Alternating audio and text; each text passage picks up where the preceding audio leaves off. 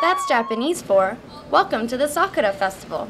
The Sakura Festival is a Japanese tradition that celebrates the arrival of spring. Around this time, the uh, cherry blossoms bloom all over the countryside, all over the mountains.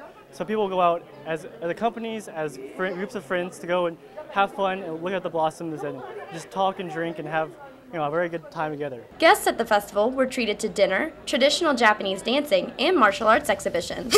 Several booths were set up around the LBJ Ballroom to celebrate various facets of Japanese culture, including fashion, anime, and the delicate art of origami. Jay Shin, a member of the JLC, said that the festival helps introduce American students to Japanese culture. We can share the Asian culture with American people so that we can familiar with American people. So that's the most important thing. Performances showcase the talents of many JLC members, including Eriko Maruyama, who performed three original songs. Other performances included Nihon Buyo, a traditional Japanese dance performed with fans, and Soran, a dance that portrays the life of a fisherman. Not all the dances were traditional, however. Students also performed a breakdancing routine and a disco para para routine, a popular form of choreographed dancing in Japan.